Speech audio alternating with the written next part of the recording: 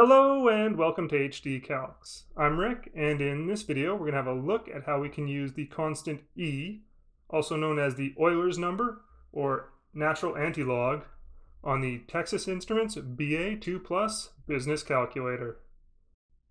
To do this we'll use the second function key that looks like this, located here, the ln key with the second function of e to the power of x that looks like this, located here, and the positive negative key that looks like this, located here. To get started, if we just want to do something like e to the power of 1, what we do is enter the 1 exponent on our screen, and then press the second function, ln key, and this gives us a result of 2.72. Keep in mind my calculator is set to round to two decimal places, so this is a rounded result.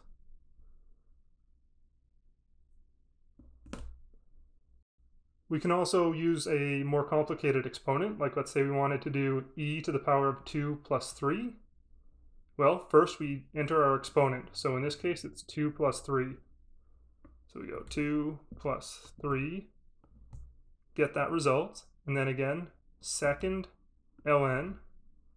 And we see that e to the power of 2 plus 3 is equal to 148.41.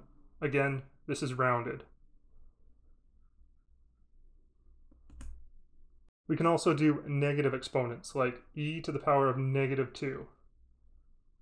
Again, we start by putting our exponent on the screen, and then we tell the calculator this is a negative exponent with the positive negative key. Keep in mind we're not using the subtraction key here, we're using this one.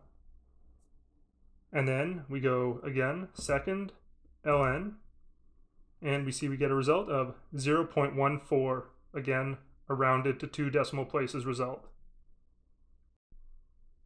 All right, I hope this helps, and good luck on those tests out there, everybody.